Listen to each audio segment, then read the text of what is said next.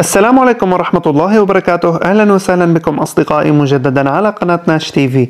أصدقائي بهذا الفيديو إن شاء الله رح نحل مشكلة تطبيق كواي في تركيا اللي هي إضافة طريقة دفع وكمان مشكلة تانية اللي هي تغيير لغة التطبيق من اللغة العربية للغة التركية. هلأ نحن ليش بدنا نغير لغة التطبيق من اللغة العربية للغة التركية؟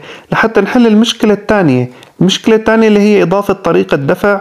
لما بنحاول نضيف طريقة دفع ولغة التطبيق هي اللغة العربية رح نواجه مشكلة إنه بيقول لك إنه لازم تضيف معلومات البنك بالعملة المحلية حصرا اللي هي الجنيه المصري.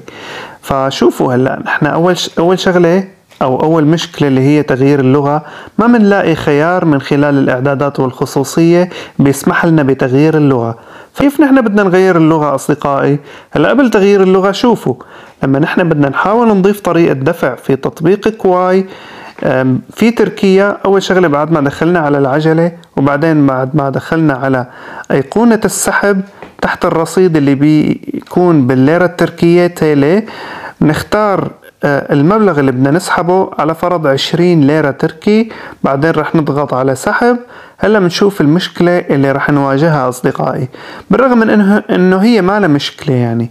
ضفنا طريقة دفع وعادي. يعني حتى لو ظهرت هاي العبارة بنتجاهلها ولكن الناس بتخاف. على كل حال نحن بدنا نحل المشكلة. هلا أول شيء أضفنا اسم المستفيد بالشكل بشكل كامل.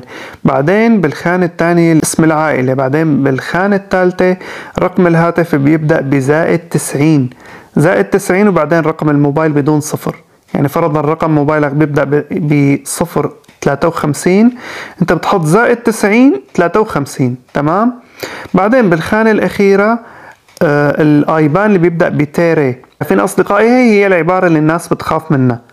إنه آه، لازم تضيف الآيبان بالعملة المحلية الجنيه المصري. فنحن كيف بدنا نحل هاي المشكلة؟ حل المشكلة هو بتغيير اللغة.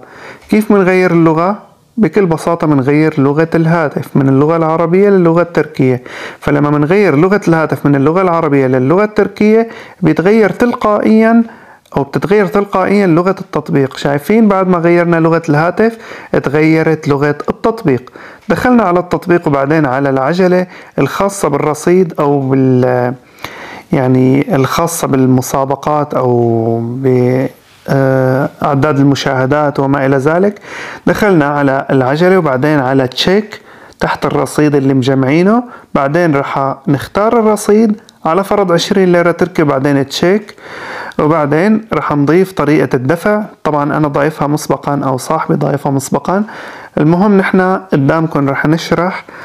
بنضيف أول شي الاسم الكامل فوق. تمام؟ الاسم مع اسم العائلة. وبالخانة الثانية كمان بنكرر اسم العائلة. تمام؟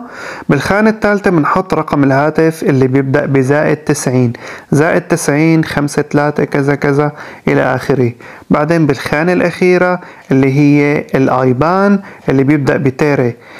بيمشي الحال أي بنك أصدقائي يعني حتى البي بيمشي حاله إذا كان حسابك مفعل آه، بيبدأ بتيري وإلى آخره يعني. فشوفوا المشكلة اللي كانت ظاهرة اللي بتقلك إنه لازم تضيف الآيبان بالعملة المحلية الجنيه المصري انحلت مشكلتها. بعدين أصدقائي بنضيف آه، طريقة الدفع وبيمشي الحال بإذن الله.